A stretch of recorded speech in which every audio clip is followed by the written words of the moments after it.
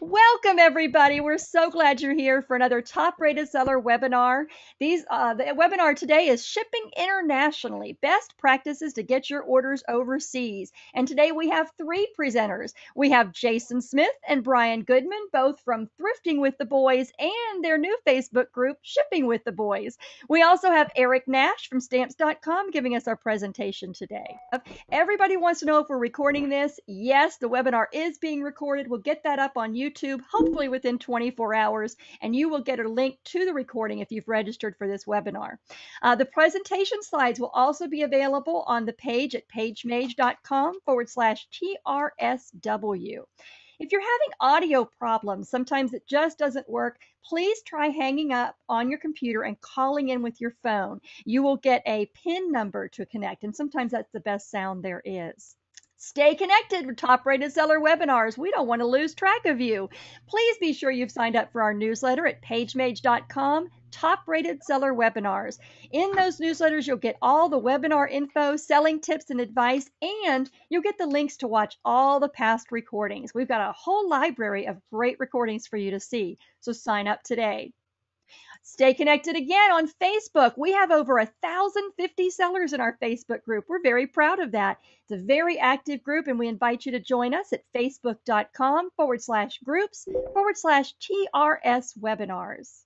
Our sponsors, these webinars are always brought to you completely free, no charge at all, by the wonderful sponsors eBay Radio, where you've got the griff every Tuesday and Thursday from 11 a.m. to 2 p.m. PT. Check that out at ebayradio.com. And Kabbage. Everybody needs a little cabbage to grow their business. You can get money in your account within seven minutes. Check out kabbage.com. Outright. Remember to go to Outright for all of your accounting needs. Put your accounting on autopilot. Outright has a new name now GoDaddy Online Bookkeeping. So check it out. Free version and a paid version to help you prepare for taxes. Outright.com will still get you the information you need. And Terapeak.com, where eBay sellers make more money on every eBay sale. Check out Terapeak.com. Top rated seller webinars are also brought to you by PageMage. Social Beacon from PageMage helps you easily promote your products across Pinterest, Facebook, and Twitter. Measure your selling to learn what works and take the mystery out of social selling with our guidance. PageMage needs beta testers. Go to socialbeacon.com and sign up. And last but not least, stamps.com, where you can import your orders from multiple marketplaces and print out your postage from home. Stamps.com offers a free program for all eBay sellers. Oh, don't forget, we've got another webinar coming up. OMG, it's October and I'm not ready for the holidays. This is by Lisa Suttora, and we'll be having this webinar on Wednesday, October 23rd at 10 o'clock Pacific time. You can sign up now at pagemage.com forward slash top rated seller webinars. Don't miss it. And of course, we have our connectors me, Kat Simpson of thatcat.com, and Karen, Karen Locker of Solutions for E Commerce. All of us are grateful that you're here and happy to help you further your education in e commerce. Back to shipping internationally. Best practices to get your orders overseas. Eric, are you ready to take it away? All right, Kat, I think I am, and thanks for the intro here. Always a great job. Um, hello, everybody. My name is Eric Nash, and I work for Stamps.com. I'll be presenting today with uh, Jason Smith and Bryan Goodman of Thrifting with the Boys. I'm sure many of you have heard Jason or Bryan speak on eBay Radio, or you've seen them present to standing room only audiences at the eBay on location events or other e-commerce events. They both have been selling on eBay for uh, for over 12 years, and uh, most of their products are, are coming from uh, they find and, and uh, come from thrift stores. So they bring a wealth of selling knowledge, and we're really excited to have them present with us today.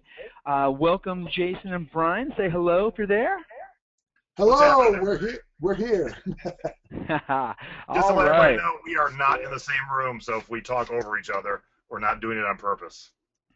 yes, we are. Yes, we are. Uh, screw you, Bryan. well, nice guys. We're uh, we're happy you're here, and we're looking forward to your presentation. Let's uh, let's quickly uh, go over the topics we're going to discuss today. We'll start with the international e-commerce market, and we'll talk about why every eBay seller should be uh, opening up their listings to international buyers today, basically. Um, then we'll discuss the different shipping carrier options you have from FedEx, UPS, uh, and the U.S. Postal Service. Um, and then we'll also talk about eBay's global shipping program. We'll also discuss uh, customs documents, duties and taxes, and strategies to, to ship into problem countries. Uh, and then we'll chat about package tracking and insurance. And then uh, Jason and Brian will show you some real examples of products they've sold recently um, to the international markets and, and, kind of describe how they did it. And lastly, we'll have a QA at the very end. Um, and just a reminder, if you have any questions, um, please type them in the question box and uh, we'll get them answered at the end. All right, let's, uh, let's quickly talk about the international e-commerce market. Um, there are over 1 billion buyers worldwide, and, uh, and e-commerce sales are expected to be over $1 trillion in 2013. It's a huge opportunity, and it's only going to get bigger here as the years go by. Um, the image on the screen here uh, shows that the U.S. market really has only 15% of the total online buyers in the world. So it's a, a very small little chunk of, uh, of the pie. Um, and if you're only limiting your sales to the U.S., you're basically only hitting 15% of the world's buyers. Um, and, and, so you're missing out on some easy sales. Uh, international buyers, uh, they want to buy U.S. products, fortunately, and, and buying directly from us or from the source is usually going to be a lot cheaper than buying from a retailer uh, in their own country. Um, and, and, sales growth is expected to grow faster outside of the U.S. here in the coming years. Uh, as an example, China's online uh, sales are expected to grow by 51% here in 2014, while the uh, U.S.'s are only expected to grow uh, by 12%. And so, so Bryan and Jason, um, you know, what do you suggest to buyers when you're looking at, uh, uh, at the international market and, and, how they should be participating in this? Well, one of the things that I like to uh, always tell people, and I think this, when they hear it this way, it kind of hits home or it hits them that they like, wow, maybe I'm leaving money on the table. You're not selling internationally, you're ignoring a lot of potential customers. There's 7.1 billion people on the planet, and about 330 million are only in the, in the United States. So, what kind of business model do you have that you're going to ignore uh, 6.7 billion people? That's a terrible business model. Uh, Bryan and I have always shipped internationally from day one. back when we had to wait in line at the post office, fill out the forms. It sucked back then. It is super easy nowadays. So don't ignore all those customers that are wanting to give you money. It's it, it's just a bad business practice. And, and I've been shipping since I was 12 years old, and uh, so it's been a long time. Uh, I don't remember exactly the first time I shipped internationally, but I do know it was roughly 30 years ago that I can remember a specific item that I shipped it was a big cardboard stand-up of Michael Jackson that somebody in England bought from me. And it cost about a hundred bucks to ship it, and they were thrilled with it. And this was before eBay. So people have been selling internationally for years. Um, one thing uh, that you got to think about is that there are buyers all over the world who want products that they can't get locally that may seem common to us. For example, just this morning, um, I sold a pair of socks, Boston Red Sox socks. They're in the uh, the playoffs, and and uh, I sold a pair of socks to somebody in Sweden who paid a fortune to ship them. I mean, I actually made a little bit of money. I, I mean, I didn't expect anybody to buy them outside the country, but people do all the time. You'd be amazed at what things look uh, ordinary to us, and you uh, you can sell overseas. And here's the real thing where eBay sellers, especially, have an edge where you're able to display products worldwide. And if you're selling stuff to other people in other countries and your competition isn't, who do you think's going to make extra money and, and get that extra business? It's a great point, Bryan and uh, and Jason. I mean, I think you know, like you said, they have money and they want our products, and they're looking forward to giving it to someone. So it's uh, might as well jump in that game and, and, and get that easy money. All right, uh, um, let's uh, let's let's see. Let's talk about some of the different ways you can sell and ship internationally. Um, you know, one one point one to bring up uh, right here, right out of the gate, getting started, is uh, is that you could start selling into the main English-speaking countries such as Canada, the UK, and Australia. Um, if you're just looking to get started, um, along with the U.S., these countries represent 44% of the entire international e-commerce market. Um, and so, and communicating with these buyers is is uh, easy since these are all English-speaking um, languages or countries. Um, and so, and also all these countries have good internet coverage, so they're able to see your products. They've got um, good postal infrastructures already established. They take credit cards, and they usually have a PayPal account. So it's a great opportunity for you to kind of get started, put your toe in the water into a big uh, pool, really, and uh, and and kind of get started pretty easily. So we always like to suggest people to do this. You know, Bryan and Jason, I don't know, have you? You know, I'm sure you probably you see the stats here on the screen and, and can see how big of a market the English-speaking countries are, uh, obviously including the U.S. Uh, how you know what percentage of your sales are going to like Australia, Canada, and the UK? I, I don't know the percentage. Go, go ahead, Bryan. Go ahead. I don't know the percentage going to those specifically but this morning I did all my shipping, and uh, 20% of my packages were going international, as were yesterday.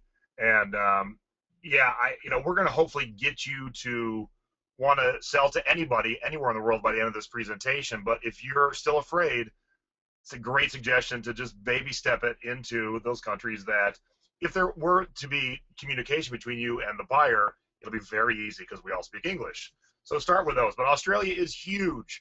They've got money, they've got internet access, and they don't have a lot of stuff. Australia is just a big, vast wasteland of nothingness in the middle, and there's not industry like we have, and they want our stuff. And I would say, of my internet, uh, of my international packages, I would say a good quarter go just to Australia. And you you got to stop and think that uh, with the advances that eBay has made and PayPal has made in in, in sort of uh, cutting down on a lot of fraud, yeah, you may have some problems here and there, but they they've really been minimized in recent years as compared to years ago when a lot of uh, you, you might have seen some fraudulent orders come in from other countries. I ship everywhere, and the problems I have shipping to China, Russia, wherever are so minimal. But I think that if you're somebody new getting into shipping internationally, you got to stop and, and think things out logically. Number one, am I shipping, you know, $800 items to, you know, faraway places that, uh, you know, nobody's ever heard of? Maybe that's a red flag. But if I'm shipping a $25 shirt to a country that's, you know, maybe small or not that well known, I, I don't give it a second thought. I just go ahead and do it. All the information you need to ship to those other countries comes right with your order. So I think you just got to use some common sense and realize: Do am I shipping high theft items? Um, you know, high, you know, electronics, what have you, or just commonplace items. So it really depends uh, on what you're selling. Uh, you, your confidence should build based on the uh, the type of item you're selling and on the dollar amount of the item you're selling. Great points. Um, okay, let me quickly go over some of uh, how you know once a, seller sells a product to an international buyer. I want to uh, to kind of discuss quickly how the how you get a package to them. Uh, on the screen here, you see a two-pound package going from LA to London, England, um, and kind of describe the differences between UPS, FedEx, and U.S. Postal Service. Um, if you ship uh, with UPS or FedEx, you can see on the screen that they basically are going to take that product um, from the U.S get over to customs, and then they're going to also deliver it to the end user, the buyer. So you're only dealing with one carrier. So it's a, it's a very nice route to go. Um, but if you're shipping with the U.S. Postal Service, they will ship the product out of the U.S. and into the host country. And then from there, once it clears customs, the local postal agency, and in this case, the UK's Royal Mail, will handle the second leg of the journey and deliver the package to the buyer. So this is a big difference between the uh, UPS and FedEx and the, the Postal Service when shipping internationally. Um, but as you can see on the screen here and the prices, the, uh, the pricing options are much different with FedEx and UPS compared to the Postal Service for international packages. Um, the U.S. Postal Service is by far the low-cost leader uh, in shipping overseas. Um, and if you're shipping low-cost items, you know, T-shirts, things like that, that are like in the 15 to 20 dollar range, um, the USPS has a great mail class called First Class Package International Service, and it's really, really cheap, and it basically allows you to avoid having to sell a $20, $25 item and pay $50 to ship it. Um, that's kind of backwards, obviously. And so by using this low class uh, or this uh, lower mail class, um, you get the opportunity to to really save on shipping. And if you, in the event you need to get that package over there quicker, um, you can always upgrade to Priority Mail International, and you can see the price differences here.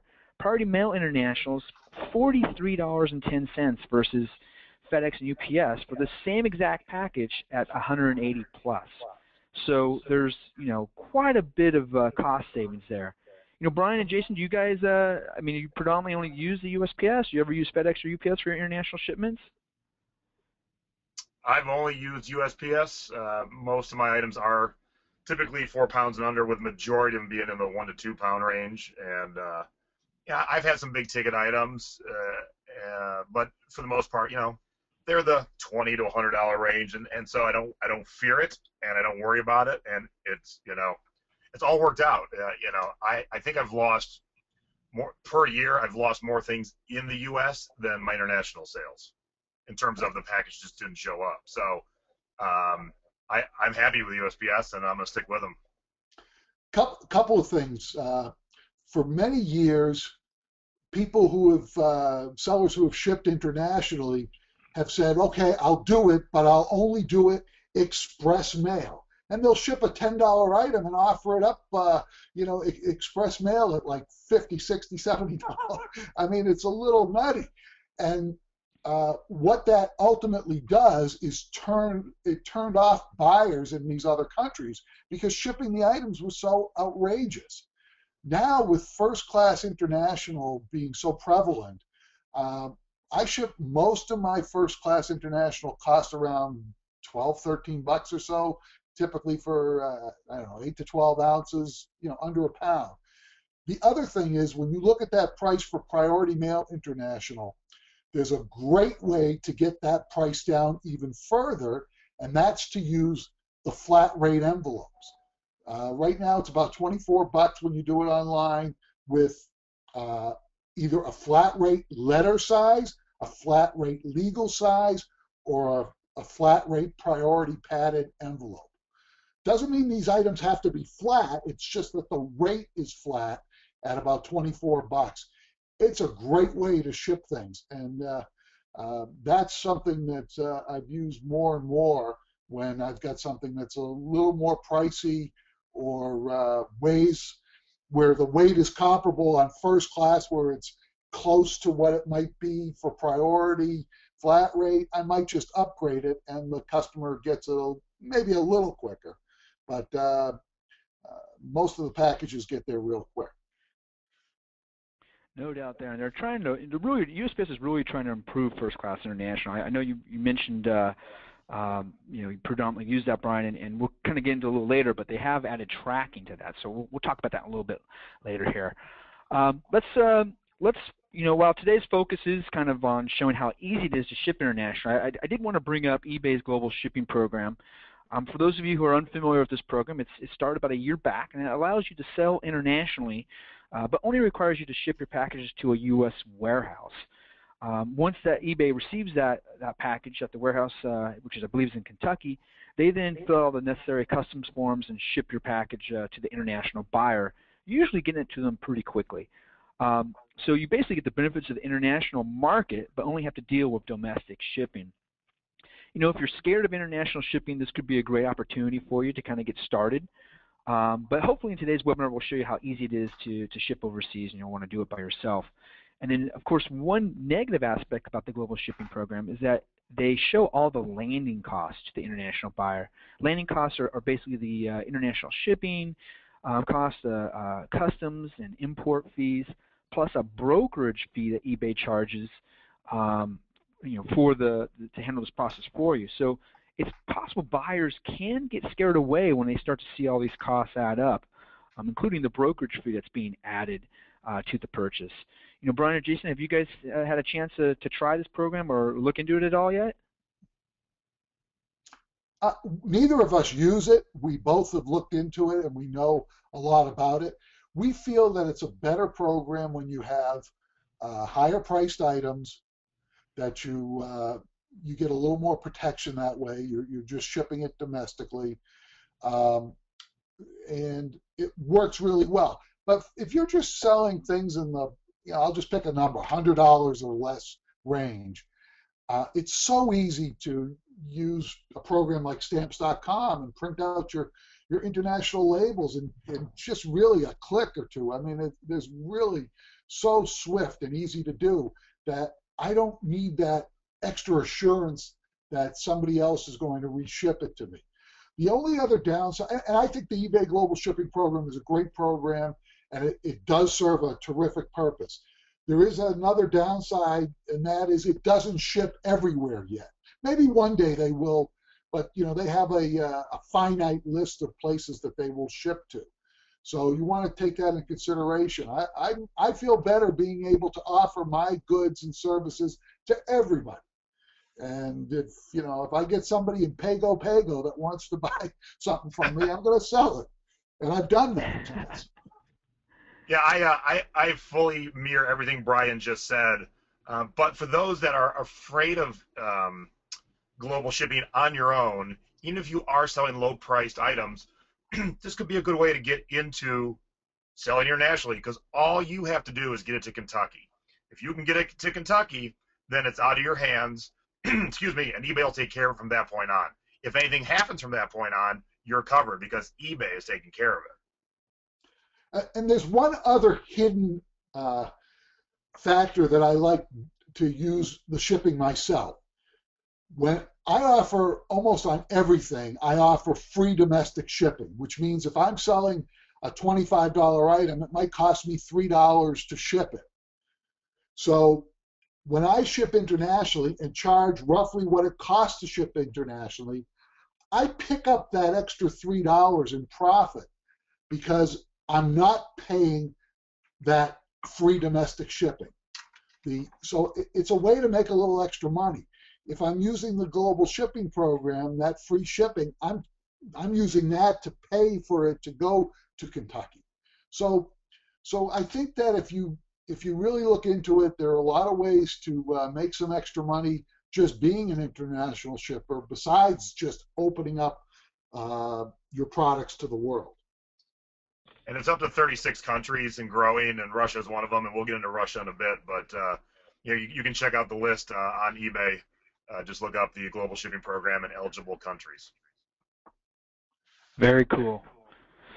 Okay, let's uh, let's talk about some customs documents you need to fill out when you're shipping package overseas. Um, for the USPS, customs forms come in two sizes. Um, there's a four-page form called the Form 2976A and a one-page form called Form 2976. Choosing the right form is based on the weight and value of the package as well as the country it's being delivered to. Um, and when you print postage online using a service like stamps.com or eBay shipping, uh, the programs automatically are going to choose which uh, customs form you should use. Um, so it's it's a very simple process. And on the screen here, you can see uh, which customs forms are required by each specific mail class. Generally, um, First Class Mail International uses the one-page form, uh, which can be printed on a 4x6 label and attached to your package. Uh, and for packages shipped with uh, with Priority Mail, generally you're going to use the longer four-page form, um, uh, which is placed in an envelope and attached to the package. Um, um before you go, go on, Eric, just yeah. one quick thing. That envelope, by the way, is a clear envelope uh, that you can get for free from the post office when you go in there, or you can have it shipped to you from USPS.com. but it's the the envelope is called P, the PS form 2976-E as in Edward. So that's a it's a clear envelope. envelope. It's it's really just a clear plastic thing that you're able to put those forms in. And just one other tip that I give to you when you use the long form, I also put the addresses on the box itself so that if for any reason this envelope or the sheets that are inside it get misplaced or separated, you still have the from and to on the box itself. So it's got a you know a- little extra protection to get it to a customer. That's a great point, Bryan. Uh, especially in, you know envelopes can get ripped off or even a label, so that's a that's a great uh, great tip there. Well, on the screen here, we've got a, an example of the one-page form. I've highlighted the areas in blue that are of interest here, and that's uh, in the top right area. You see the uh, the return and delivery address. You also see the signature, uh, the date, and the electronic round stamp here at the bottom. Um, these are all items that are inserted automatically when you use an online postage vendor like uh, Stamps.com or eBay shipping or PayPal shipping or whatever. Um, the electronic round stamp, by the way, is important because that that's what basically allows you to avoid having to go to the post office. You can just basically take your international package and, and hand it to your daily mail carrier, um, or take it to the post office and drop it off at the uh, on the desk. Um, so overall, the process is very simple. The area here in yellow is where you need to add some items to your customs form it's basically the, the customs wants to know what's inside the package. Um, kind of gives them the ability to know if they need to add a tax or a duty, um, and then also make sure it's not a restricted product. Um, so this can be um, inserted automatically. Some uh, the postage software have uh, favorites if you're selling one particular item. Also, eBay can take the uh, the product description and insert it here as well. Now, Bryan and Jason, I know you guys have a strategy because I mean, there's obviously a lot of things that you can put on here that might get um, raise a red flag for theft. I know you have a strategy when it comes to describing contents in your customs forms. Yeah, so two things I want to point out on this, and, and one of them is a little bit of a downfall on eBay's part, I feel, where it says uh, signature and date automatically include with online postage. Yes, that works on Stamps.com and Amazon, but for whatever reason, it doesn't on eBay. So if you're printing your stuff through eBay, don't forget to sign it and date it. I've asked them repeatedly to make it automatic, like everybody else seems to. I'm not sure what their reservation is for not doing it. So if you're doing it through eBay, make sure you sign it in terms of what's in the package, our titles are 80 characters, and uh, and I've never had a problem with this. I don't feel that that title needs to be what's in our package. Um, it, it can be just fairly generic: uh, shirt, hooded sweatshirt, pants. They don't need to see it's the Iron Maiden Killers 1982 tour T-shirt. You can just boil it down to T-shirt. Because some of those keywords that we have for how we sell it might trigger like, oops, I'm gonna pull this out and look at it. Uh, Killers, Iron Maiden, things like that. Great point. Great point. Um, okay, let's uh, let's talk about some uh, other topics you should be aware of when you're shipping to international locations. Um, customs fees are costs that the host country charges to manage the flow of goods, kind of in and out of that particular country. Um, there is a fee, obviously. There's a service that kind of uh, manages this whole process. So um, there, there's obviously customs fees. Duties and tariffs are kind of like a tax a country places on a specific product. They're built to protect the local uh, industry and businesses. Um, we also have them here in the U.S. when uh, when products are coming inside the U.S. Uh, sometimes a tariff or a duty is placed. Um, and then taxes are not necessarily charged by every country, um, but there are extra fees sometimes that a local government would charge, such as a, a particular province in a country or a state in a country. As an eBay seller, all of these fees are, are, are the responsibility of the buyer. Um, but it's a good idea to understand the process. And as we mentioned, the global shipping program does show all these fees to the particular buyer. Um, but if you're not using that, your, that your buyer's not going to necessarily see them all. Um, and it, it, one interesting point is if a buyer doesn't pay the fees, say, say they get the product in customs and they see, um, you know, some big fees, those products are usually just destroyed um, and are rarely ever sent back. It would depend on the mail class that was used. Uh, express mail, for example, or Priority Mail Express, does get the uh, opportunity to have the package sent back to you. Uh, but anyway, some interesting stuff there. Here's some other uh, some other international documents that that might be interesting here. International transaction numbers. These are really only required if your product is over $2,500 in value. You can get your ITN number um, uh, going to the U.S. Census site here, which is at aesdirect.gov. Um, and then harmonized codes are another important issue. These are kind of a standardized set of numbers developed by the uh, World Customs Organization. They're, they basically were developed by uh, for commercial shippers to to get their products through customs quicker. Um, you know, you can definitely can speed it up if you include it. There's spots on each customs form for the USPS to include the harmonized code. Um, you can find your, you know, if you're shipping a particular product uh, overseas, you can find it just by going to a website, just do a Google search for harmonized codes, and you kind of input all your information. They'll kind of take what the product was made out of um, and what it goes down to, and it kind of just breaks it down, and you can include that onto the uh, the codes here. Let me jump over, um, run a little tight in time, so I'm going to jump over some problem countries here. Uh, you know, shipping to problem countries is a big issue um, and you know a lot of a lot of people get scared. So I know Bryan and Jason, you you obviously ship to a ton of different countries. You mentioned you kind of ship to everywhere. How do you deal with uh, with problem countries? Well, you just uh, drop it in the mailbox and let it fly. I mean, really, the the problems are typically minimal, but sometimes you just have to explain to the customer when they don't have their package yet that um, it's probably in customs. Maybe they should check with their local postal carrier post office. Um, you'd be amazed at how many times you say that to somebody and they come back and say, "Oh yeah, it was waiting at the post office for me," or um, or they come back to you within a few days and say, "Oh, got it, got it." But uh, occasionally, some things just get lost in the mail, whether it's in Brazil or whether it's in uh, the U.S. One of the things is that uh, there is a uh, delivery confirmation or or basically a tracking now that um, is going to certain problem countries like uh, uh, Brazil um, and Russia. And Russia, especially, and and I just uh, shipped uh, something to Russia, and uh, I mean I've done it a number of times recently, and it goes through fine.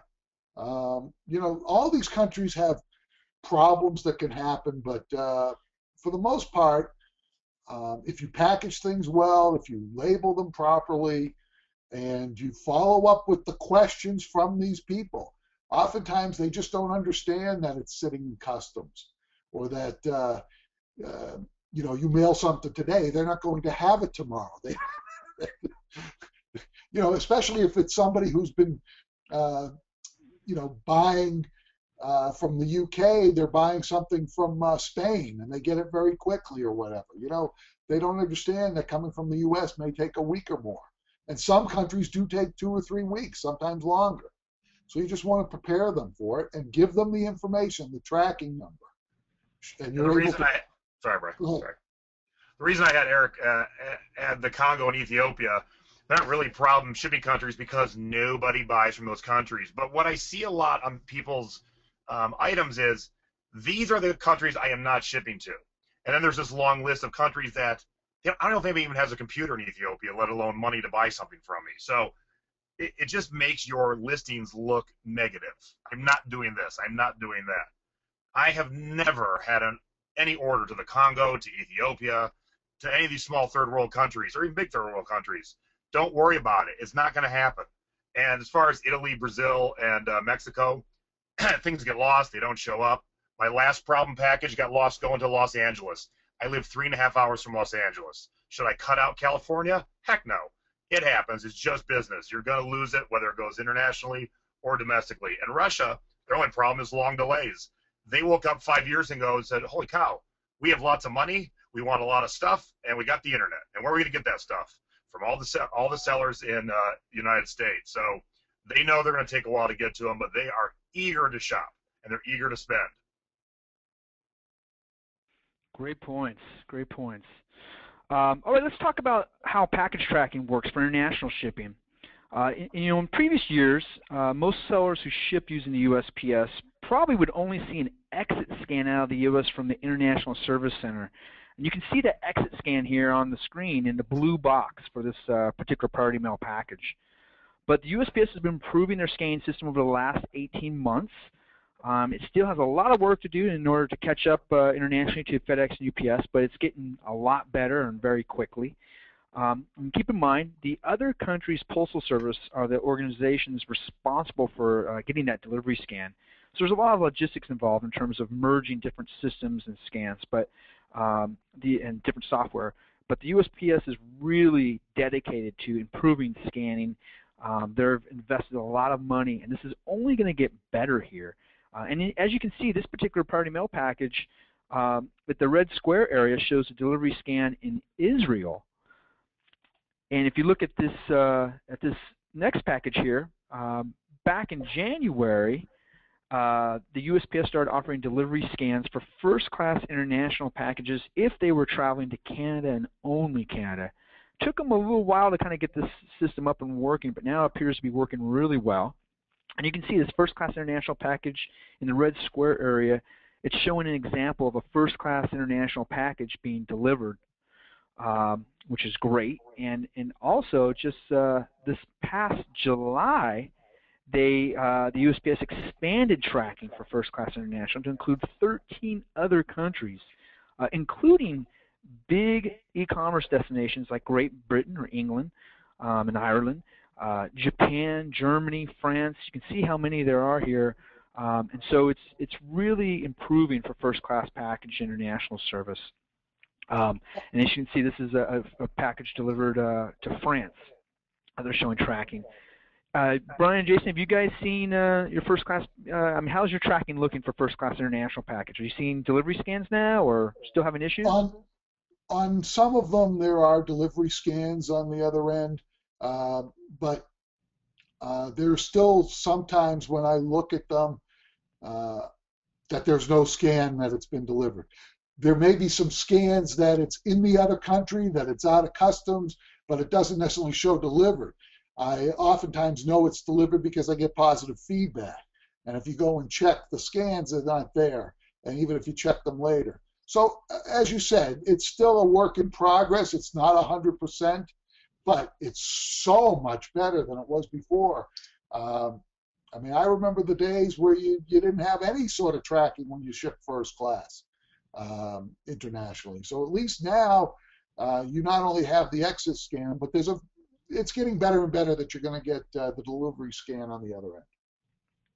Yeah, and I've seen the same thing. It's it's coming. You know, some packages show up, um, uh, and, and it's it's going to be huge. It's going to be awesome. So I'm I'm glad this happened, and uh, it should take some of the trepidation of people who don't are afraid to ship internationally out of the equation. Really. That's right, and, and you know Canada took a little time to kind of get rolling, and, and so now they've added 13 additional countries. So if you, if you are shipping to these countries and you're not seeing your scans, just keep in mind it, it, they should start coming soon. It's it's kind of USPS is syncing up with each organization, um, and and they we're seeing a lot better improvements. Um, although obviously not every package, kind of like uh, like Bryan and Jason said, are, are appearing. So give it some time, and hopefully everything will be uh, will sync up real soon. All right, let's uh, let's talk about some international insurance here. Um, you know, for small price items, uh, most sellers do self-insure. Uh, but if you're shipping a higher value product or shipping to a problem country and are nervous, you can always buy package insurance. It works the same way as domestic insurance and usually is just a little bit more expensive. Um, another secret for lost packages is called uh, the international inquiry. This is a formal procedure that the USPS requests with the other country's postal agency most of the world's postal agencies belong to the Global Postal Alliance. Um, and when a member country loses a package and an international inquiry has been filed, that alliance does not divvy up the money as, as good as that particular country uh, wants. So um, when this formal process has been filed, uh, it's amazing how fast that country can find your package. One caveat, though, is they have to be shipped with Priority Mail or Priority Mail Express in order to be able to fill out an international inquiry.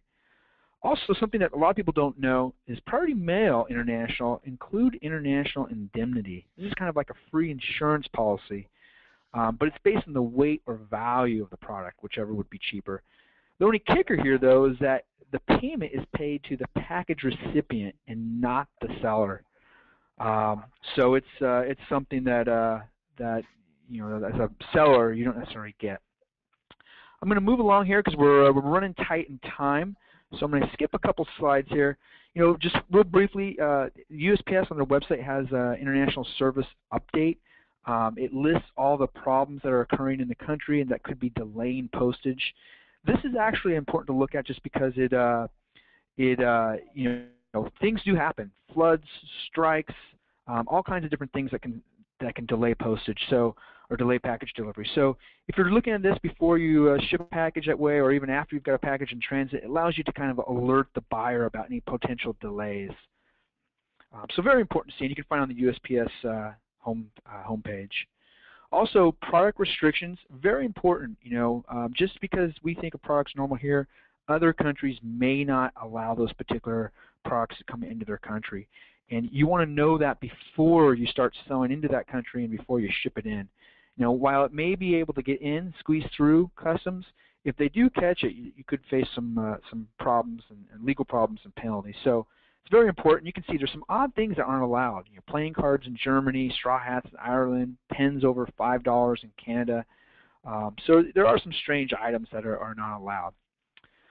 All right, let's uh, let's get into um, some example listings here. Bryan and Jason recently have sold some international sales, and uh, they have some good stories behind them. So I'm gonna, I'm gonna hand this part over to you guys.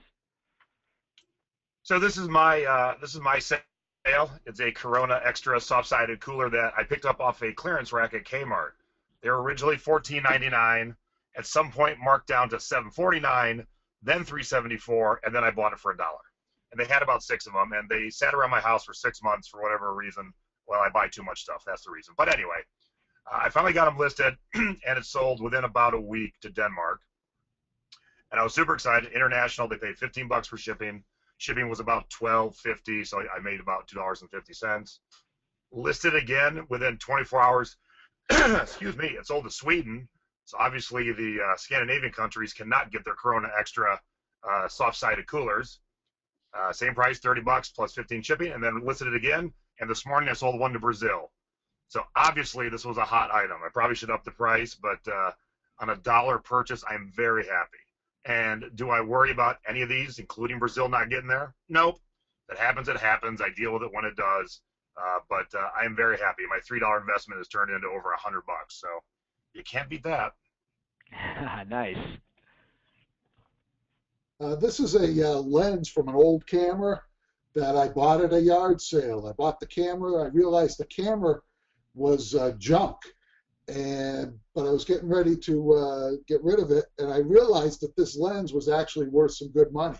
Um, so I uh, put it up there, and I sold it to uh, Russia, and it actually came through for first class delivery and then I got a message from. The, the buyer said, "Oh, I meant to, I meant to uh, do priority."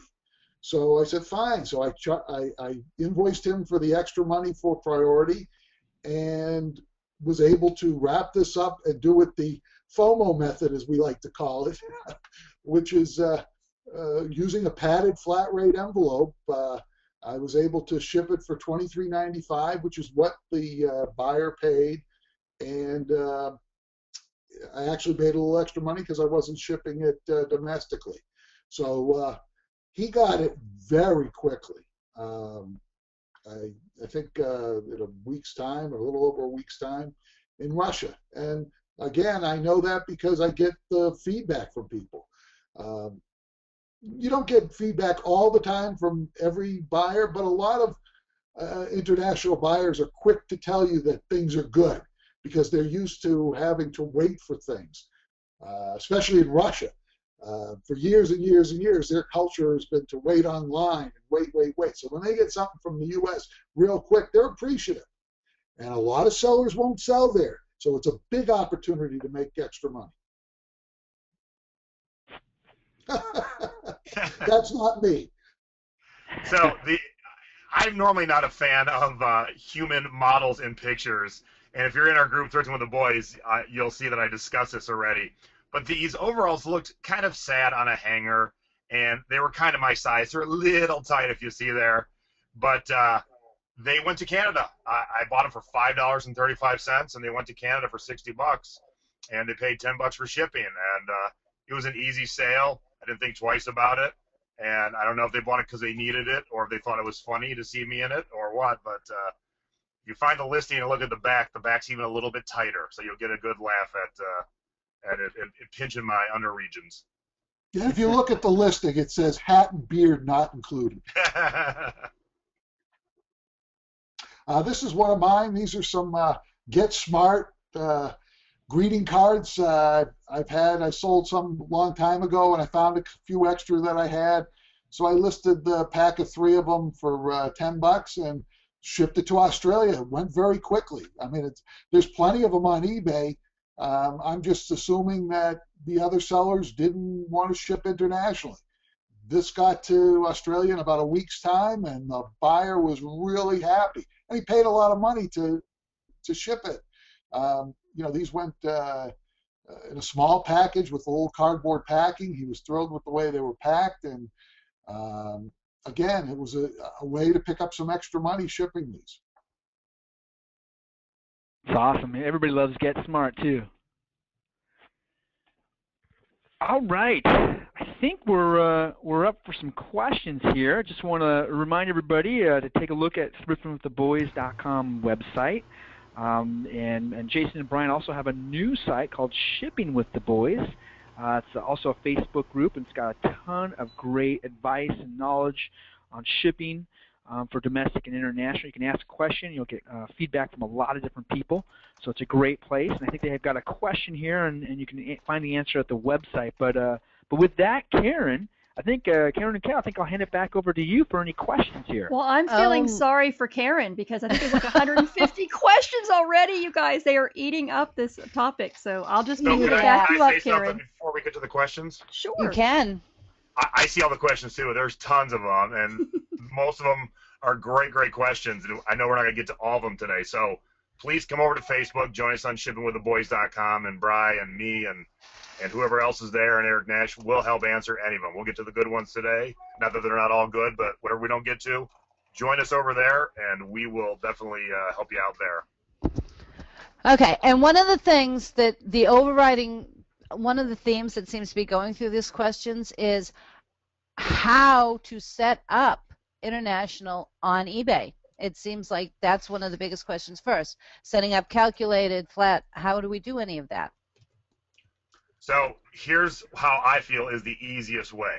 I sell tons of products, but I do have a niche. I have T-shirts, Hawaiian shirts, coffee mugs, tiki mugs, things that all weigh approximately the same. A CD is always about four ounces. A T-shirt's always around eight. So I just do a flat fee. I've kind of figured out exactly what's going to cost to be an eight-ounce package, uh, a one-pound package, a two-pound package, and it's right on the money 90% of the time. Five percent is probably a little under, so I make a couple extra bucks and 5% of the time it might be a little over, so I lose a couple bucks. But in the long run, and I'm using hand gestures like anybody see me, in the long run, um, it'll work out for you. And the one thing you want to do is Canada and Mexico are different than the rest of the world. Their cheap, their shipping is a little bit cheaper. So when you uh, go to figure it out, you should definitely, if nothing else, break out Canada and then the rest of the world because Canada's right above us, uh, our friendly neighbor to the north, and uh, the rest of the world in, in the lower weights, the rest of the world will be one price. So you figure out an eight ounce package in Japan, Japan it's going to be the same eight ounces to Spain. One of the things that you want to do when you're setting it up, and I agree with Jason, if you have heavier items, then yeah, it's probably good to do calculated, but uh, it's very easy to go to the drop down menus in the eBay uh, uh, sell your item form. When you get down to the international shipping, uh, usually the drop down menu will say no international shipping if that's what you if you've never done it before. So you want to click on that drop down menu and I would typically for for lightweight items, uh, four pounds or less, I would use the first class and figure out what it is. Uh, so, for example, I have all my worldwide first class international for the majority of my items is set at about uh, 13.95, something like that. And usually, I, my cost to ship them is between 10, 11 bucks, and you know, occasionally I might go over, but not very often. So it's it's usually well within the, the range. The other thing that I really feel is important is that you offer those buyers overseas the opportunity to upgrade to priority. And typically I use the flat rate priority envelopes. So it's another option for them for $23.95, uh, as long as it'll fit in the flat rate envelopes, that's an option for them. And people do uh, sometimes upgrade. And it makes you look better compared to other sellers who may be offering priority for $60 on something that can fit in a flat rate envelope for $23.95. So uh, it's really easy. You just pick those drop down menus to do it. And uh, I usually have three different ones. Uh, I set up one for the first class at $13.95, one for priority flat rate at uh, $23.95, and then one for Canada first class. Usually it's about 10 bucks. So um, you, you make those options available for people, and uh, when they look at the site, when they look at your item, it shows them uh, the price of the item, and it shows them what it's going to cost them to do it. If you allow yourself to somehow get it up there where they can't see the price of shipping, but you ship there, it gets very confusing for them, and they ask, start asking you questions. Uh, you're not supposed to be able to do that, but I guess occasionally some some of that uh, gets through. But just make sure you set it up with the pricing that will cover your costs and give you a little cushion. Because, like we mentioned before, uh, Eric had the slide about self-insuring. You know, for every extra couple of dollars you make, think of it as the bigger picture. You sell 100 items where your shipping has made you an extra $3 a piece. That's $300 to handle the one time when somebody you know, loses, uh, doesn't get delivery on a $25 item. You just pay them right back, and you, you you're still way ahead of the game. So use that as a cushion. Um, but the uh, there's a lot of different options you can do to different countries. You can exclude countries right there as well. There's a there's a little uh, click on that you can do that, but it's very easy to set up international shipping. And the other thing is that if you're offering free shipping domestically, your buyer in Russia or wherever does not see that. So all they see is it costs them $13.95 to ship it there. They don't they're not aware of your free shipping here. That's not in their realm. Unless you put it in the title or you put it in the description, which I strongly advise you don't. Because that gets confusing for international buyers. So uh, it's a great way to make some extra money and ship things worldwide. Okay. Here, here's a question, Bryan, that we talked about right before we went live. Um, what about customer service and not knowing the other person's language? That's the main reason this person doesn't ship internationally. Okay, the, the, the real thing is just like if you met the person in real life, you talk louder and slower. That's how you get it across to them. Uh, answer the question. Uh, seriously, they, there's really a, a, an easy way to do it, and I use Google Translate a lot. Uh, now, it's is it perfect? No. Sometimes you've got to sit and really think about what they're asking you. You know, we we talk about the post office. They talk about uh, postal service or postal you know, they may use different terms, and when it gets translated, means something else. Sometimes it takes a few things back and forth.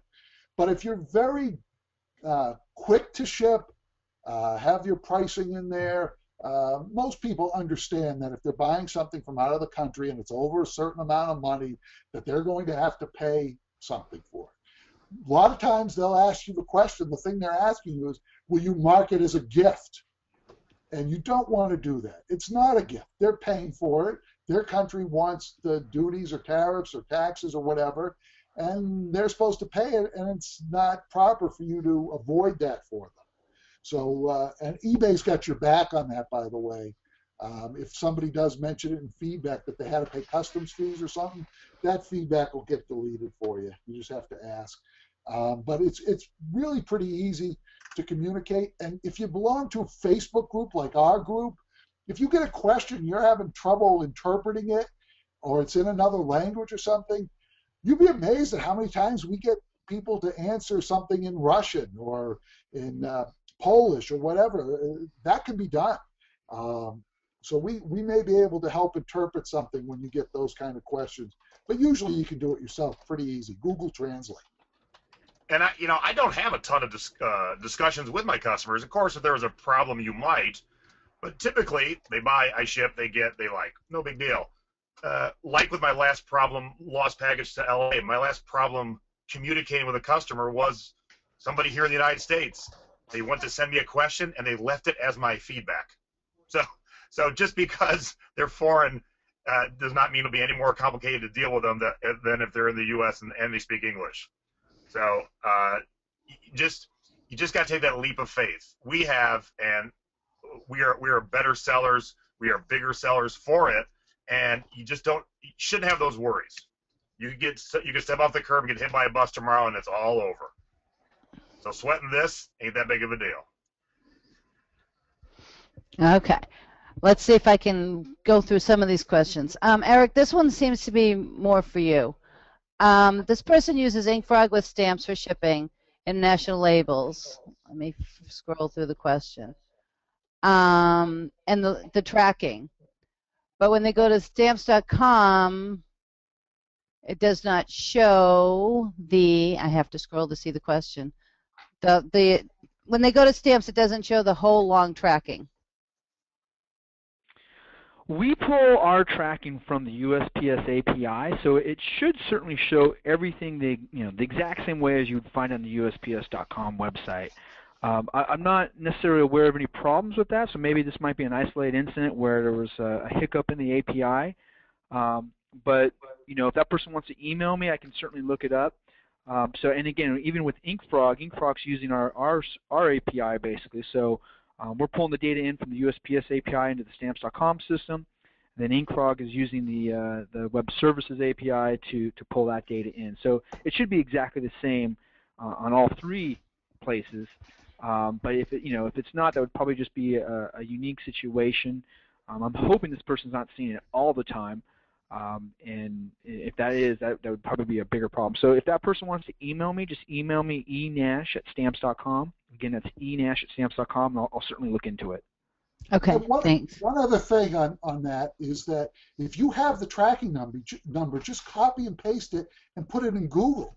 And you just Google that number, and up, co- up, up comes the uh, link to uh, check it on the USPS. And it's really quick.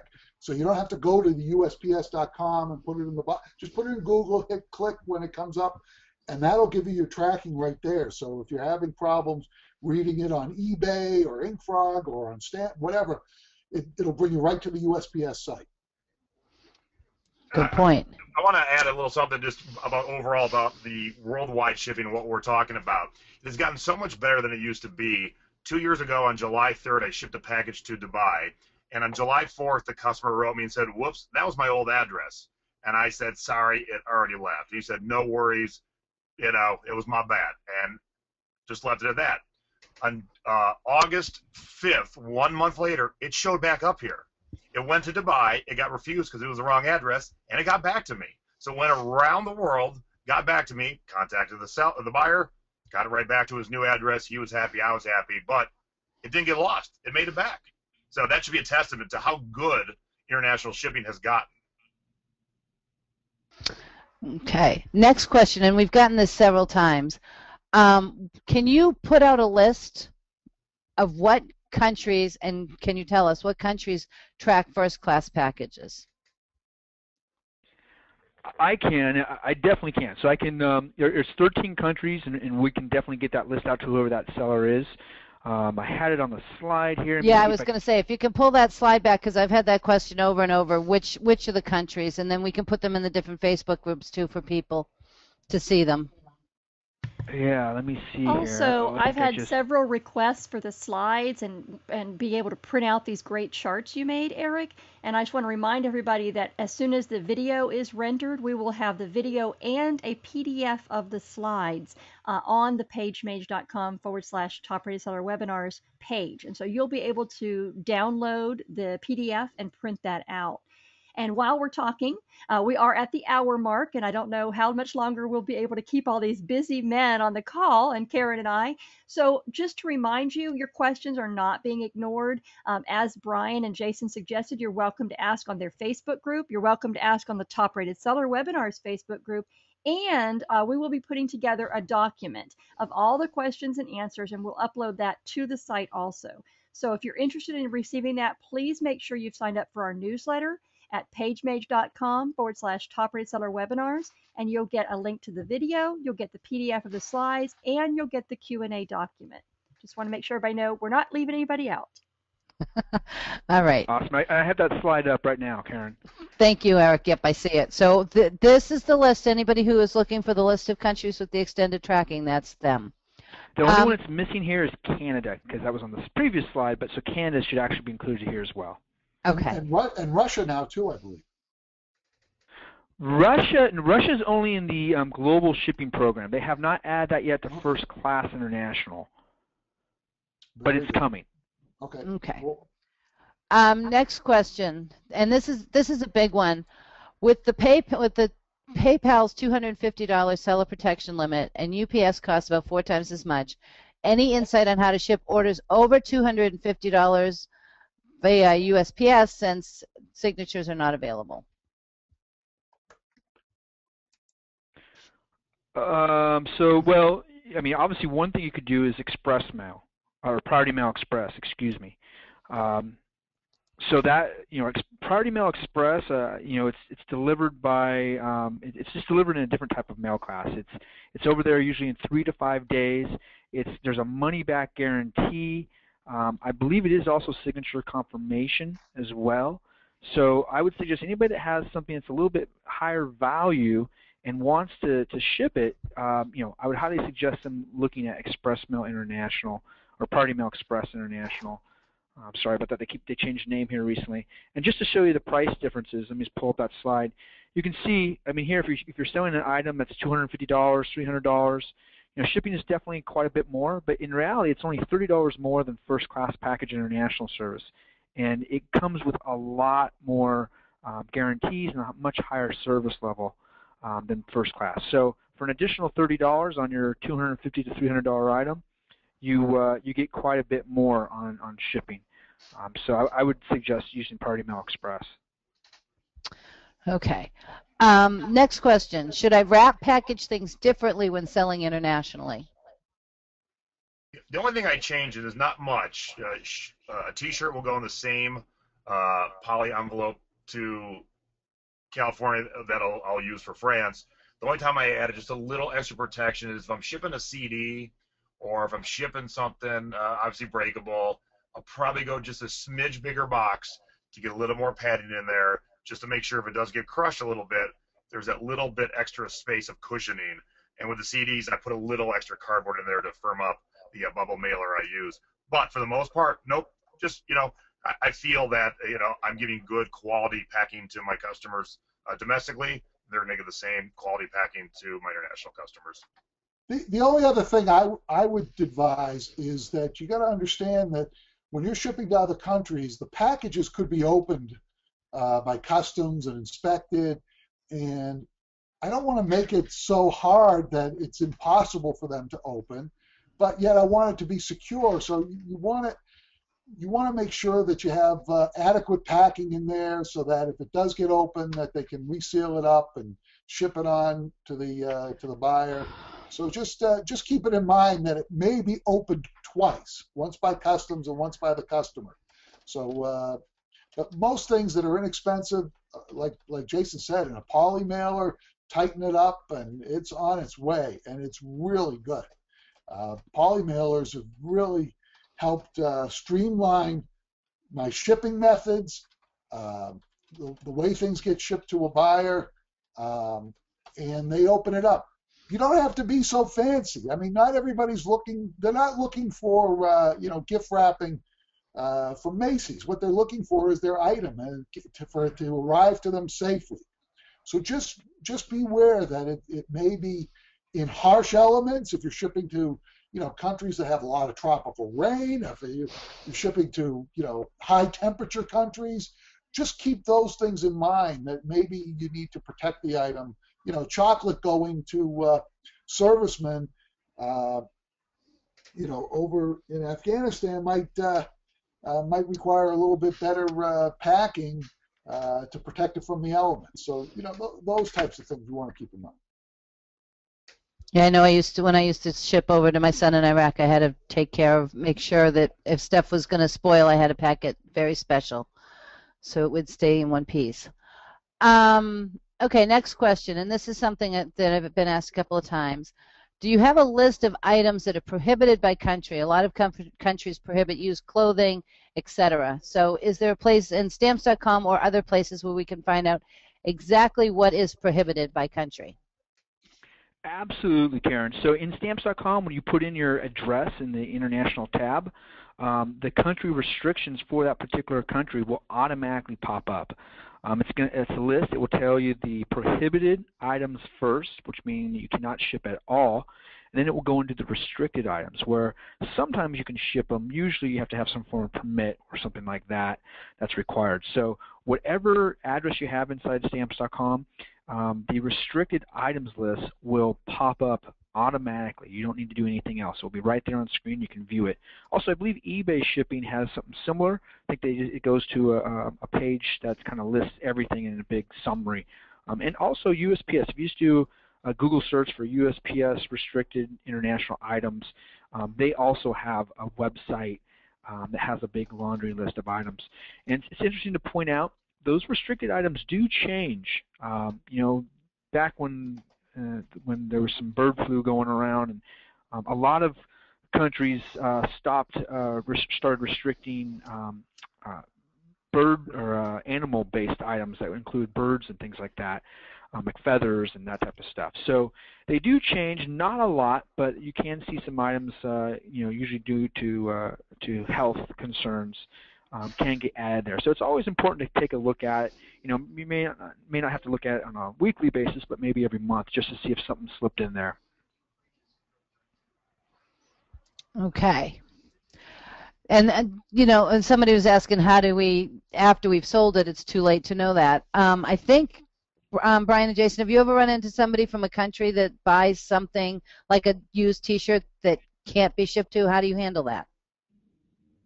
I've never had that happen. I've seen it where they say, you know, they buy Um, something and it's like I've can't had- ship there. I've ahead, had uh, somebody in Italy buy buy a pair of boots for me, and you can't sell leather, uh, shoes especially, but leather you, you can't ship to Italy. At least you couldn't.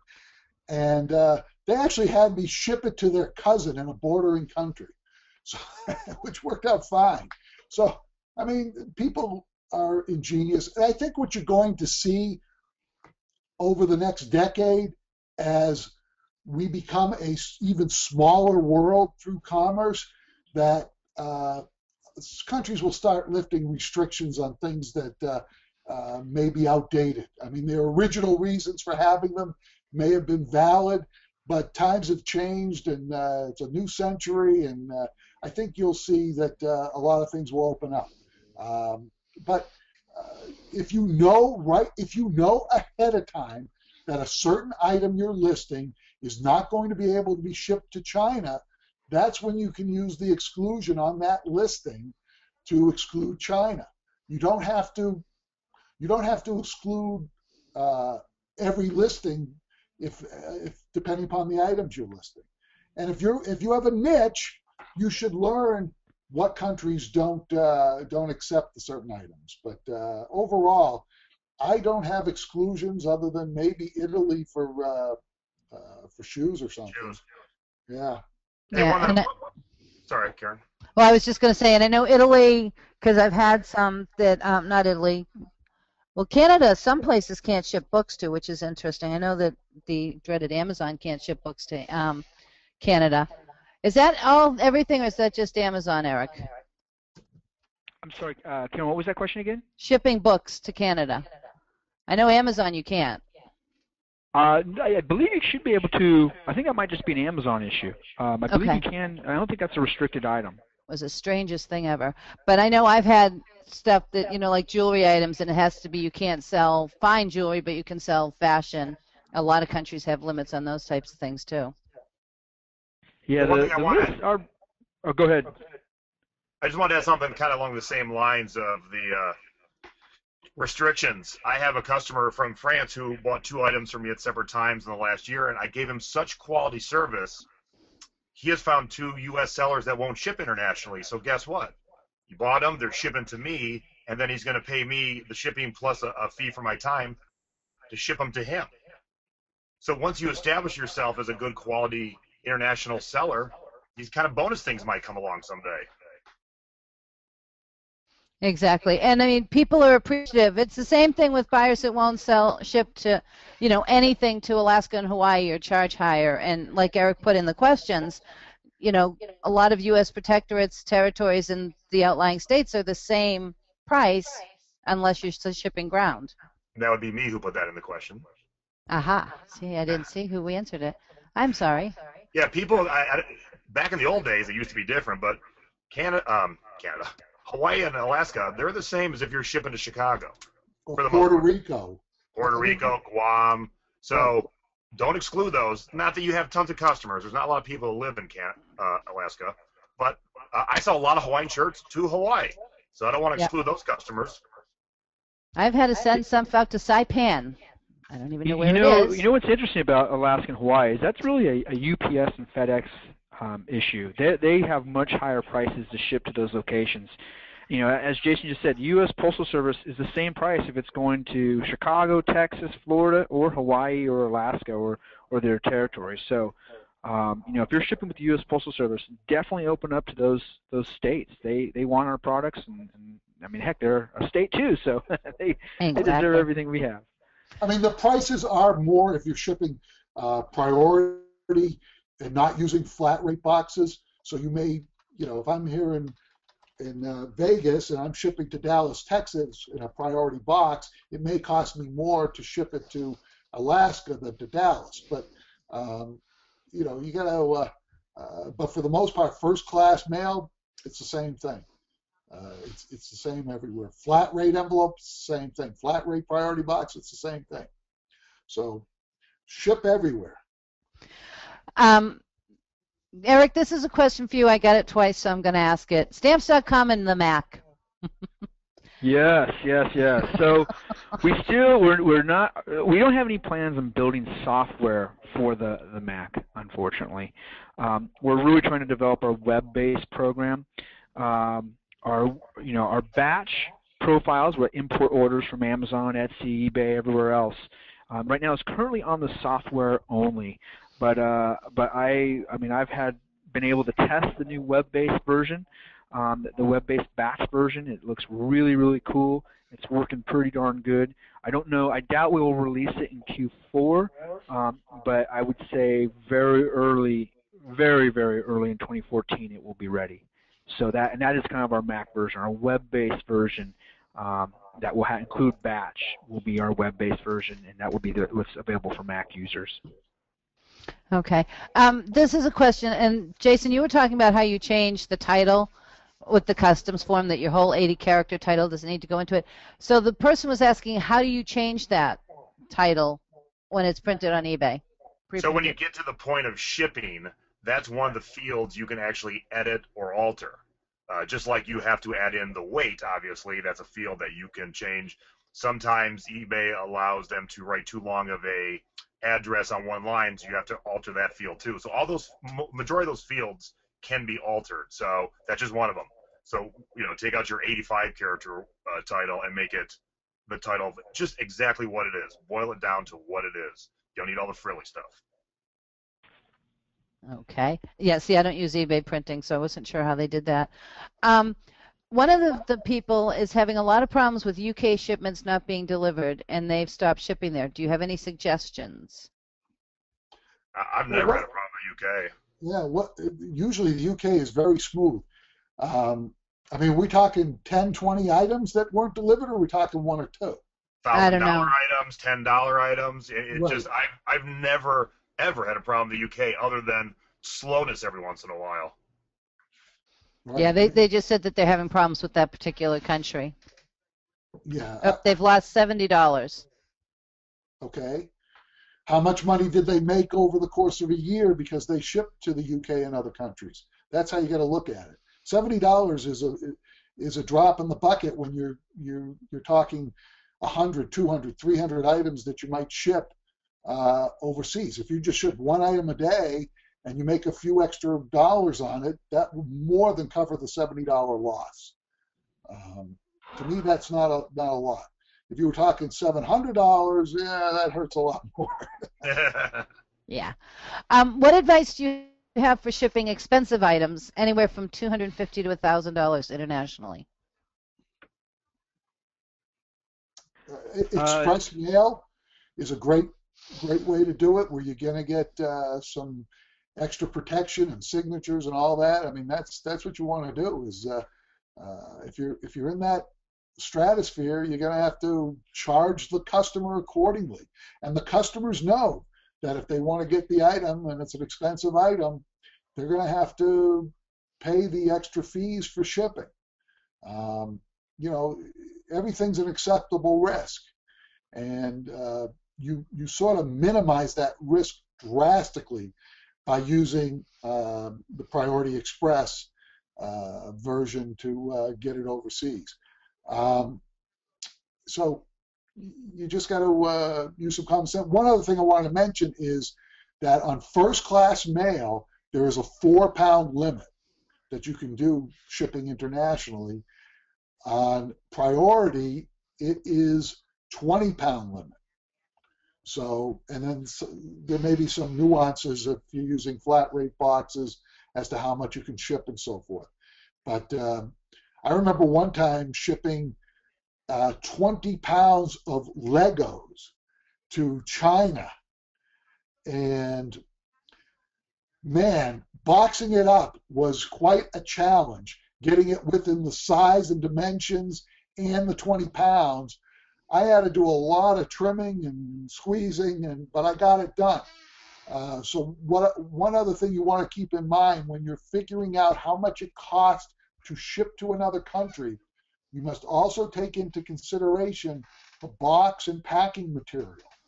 So if you have a fragile item that you're going to have to double box and the item weighs one pound, two pounds may not be enough to calculate what it will cost to ship the item. So bear in mind, you know, boxes are part of what you're paying for when you're shipping things. You, you know, Bryan, one thing I'd like to add too is some countries do have weight limit uh, restrictions. So, you know, maybe it's 20 pounds, maybe it's up to 70 pounds, um, but sometimes you may see 66 pounds or some, you know, variations of all that weight. Usually, it only matters when it starts to get into heavier weights, but some countries do have those restrictions. So it's always important, you know, if you do have a particular product that's going to be a little bit heavier and not like kind of a norm, you know, under 10 pounds, um, make sure you look, look, take a look at those product restrictions and, and kind of uh, country restrictions because they will uh, they do have some you know specs that, that need to be applied to.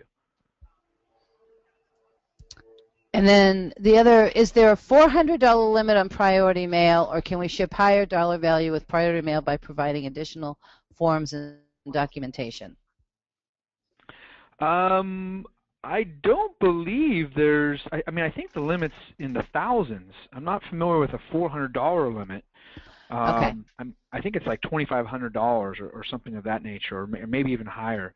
Um, yeah, I think that I think there may be a, li- a value limit on on first class mail international, but at that point, you know, it's in the hundreds. You, you know, if you're starting to ship an item that's a couple hundred dollars, you probably don't want to be using first class mail international anyway. Okay. Um, I think we're getting near time for all of us to move on. But um, one last question that I just wanted to ask is somebody was saying that they always sent a packing slip with international, and should they still do so, do you think? Yes. Yeah, I do too. And the reason is because as I mentioned before, how the item could get opened up, um, at least if you have it uh, attached to it somehow or with it somehow, if for some reason the package goes missing, they at least have that uh, packing slip that has the to and from uh, with the item, hopefully, that they can uh, repack it themselves at customs or whatever. So it just gives you a little bit of extra uh, assurance that uh, in case of separation that you might uh, still get it delivered. Yeah, and I would add too, it is a customs requirement with a lot of countries. So, uh, is that a packing, well, what they would consider an invoice? Um, usually, a packing slip would would suffice, uh, but some type of documentation in there of what's supposed to be in that particular box. And so, if in the event you were able to go to a country that did require that, which a good chunk of them do, certainly any of the more modernized postal organizations and countries, um, you know, you could potentially have your product delayed in customs or, or you know just maybe even stuck in customs for an extended period of time or forever um, by not including that packing slip um, you know and or invoice. And as an example FedEx and UPS International do require you to include an invoice um, in the packages. So uh, so it's you know it's always a good thing to include. Alrighty, Kat. I'm just scrolling through the, the questions. They are still coming in. And as I remind everybody, we will do a Q&A document and get Bryan and Jason and Eric to weigh in. So make sure you're on the newsletter and you'll get that. Uh, last words go to, uh, let's see, Jason, you first. Last words to the audience before you go away. Sure. I want to thank everybody for tuning in and those of you who are listening later. Like I said, we will help uh, anyone for free at any of our groups, either Thrifting with the Boys – or shipping with the boys uh, on Facebook, or just come to our website. You can drop us an email, Bryan and Jason uh, at thriftingwiththeboys.com. We're here to help. If we don't know the answer, uh, we can get Eric involved. If he doesn't know, we'll figure it out. We'll, we'll help you. We will help anybody that needs and wants help. Awesome. Thanks, Jason. Bryan, any last words? Yeah, please come visit us at uh, thriftingwiththeboys.com or shippingwiththeboys.com. If you go to shippingwiththeboys.com, uh, I've got a little question there about uh, international shipping when it first began. So if you've been Ah. hesitant about doing it, maybe this will get you to think about uh, how many years uh, international shipping has uh, been going on. So Can I uh, guess on that? Sure. I'm guessing it was after the Pony Express. You you actually would be wrong. Oh no, it was before the Pony Express. That's pretty cool. Head Yeah, on over to Shipping with the Boys, guys, and find out the actual answer. And, Thanks, uh, Bryan. Thank you very much. Uh, join us on Twitter at uh, at Thrifting Boys or at Shipping Boys, and uh, we're uh, we've got a meetup in Las Vegas coming up at the end of the month, hmm and we do that every month. Uh, we've got Griff uh, this month, and I think Eric, you you're committed for next month, right? November. yes November I am I didn't mean to put you on the spot, but, That's a great plan, Bryan. I like that. but uh, but that's one way to get them to commit. I But, uh, like yeah. that. That- That's, I'm gonna I'm gonna remember that method, Eric. Did you have any last words for the crowd, Eric, before you sign off? Oh no! I I mean, obviously, I wanted to thank uh, Bryan and Jason for, uh, as always, putting on a great presentation, and uh, and also just to, to let everybody know. I mean, it's Q4. It's a great way to uh, to increase your sales. Shipping overseas is not hard. As you do one or two documents or packages, you'll probably see this is really a simple process. So um, I really suggest everybody to look into it and try to do it right away. Uh, it could really be a great way to, to boost up your, your Q4 and make it a, a very happy Christmas. Excellent. And speaking of international, Jack says good night to all of us from the Philippines. So we had international listener while we were talking. Thank you, Jack, for coming. Uh, again, make sure that you're on the newsletter, uh, pa- pagemage.com forward slash top rated seller webinars, and we'll get all that information out to you. I'll be working on the video, and we will have this up for you within 24 hours.